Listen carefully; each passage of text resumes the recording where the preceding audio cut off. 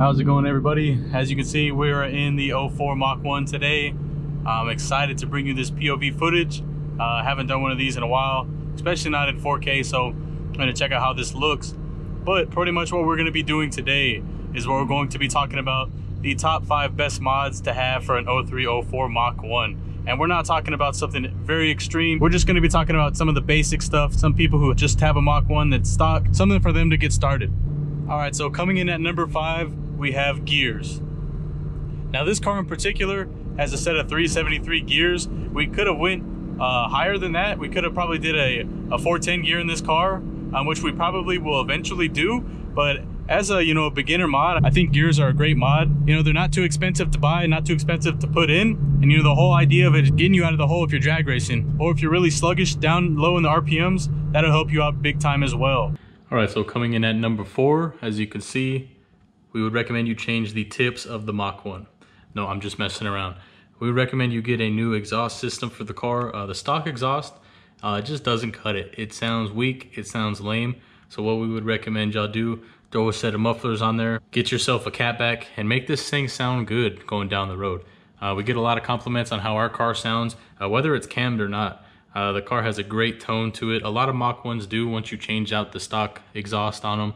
They're just a great sounding car. So at number four, we would recommend changing your exhaust system out. Let me go ahead and put a sound clip up so y'all can hear how this Mach 1 sounds.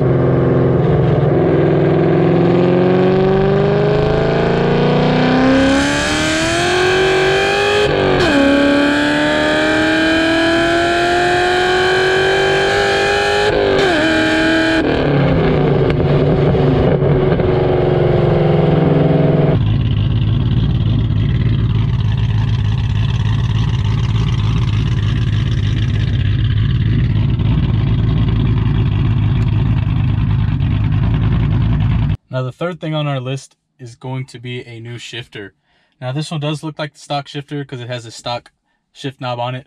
Uh, but underneath this thing is a MGW short throw shifter. Uh, you can really go with anything you want. We just chose the MGW, had a lot of great reviews. Um, the stock shifter is real sloppy. Um, could definitely use an upgrade, so that's why we decided to put this one at number three. All right, so we finally made it underneath the hood of the Mach 1. Uh, you would have thought we would have got here sooner with the top five mods, but coming in at number two, we would suggest you getting a whole new cold air intake system here. We have a JLT system here, um, but mainly we want to get rid of the silencer that's right here on the stock unit.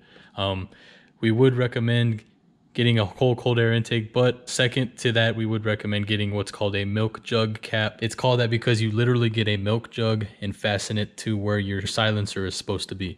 Now, obviously, some people do that, but they make, you know, special units uh, solid pieces that you fill that gap in with looks a whole lot cleaner and just the bottom line you don't need that silencer there there's a whole lot of unnecessary silencers on this intake which you just need to remove um, any way you can so like I said, at number two, we would recommend getting some type of cold air intake system. Doesn't have to be a JLT, um, but we would recommend keeping the shaker functional because what is a Mach 1 without a shaker? Am I right, Ford?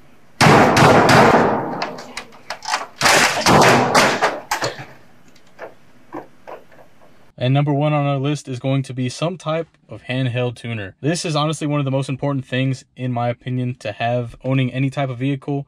Um, if you're going to have any type of mods, you're going to need some type of tune with some of those mods. So this will be able to do that for you. You can also data log with this. You can also see what kind of codes you have. If you have a check engine light code, come on, you can plug this thing in and it'll tell you exactly what's going on.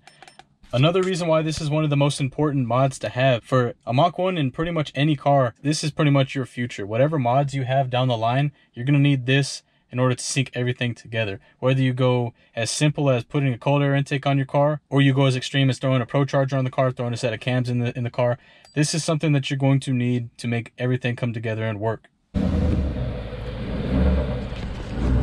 All right, so as you can see, me and Dylan are out here just taking some pictures of the cars. We just uh, went to the car wash, uh, but hopefully y'all like that top five Mach 1 upgrades or mods that you should get as a beginner or as uh, as you get the car if it's fully stocked. I hope you enjoyed. If you liked it, go ahead and leave a like on the video. Uh, if you aren't subscribed yet, go ahead and subscribe.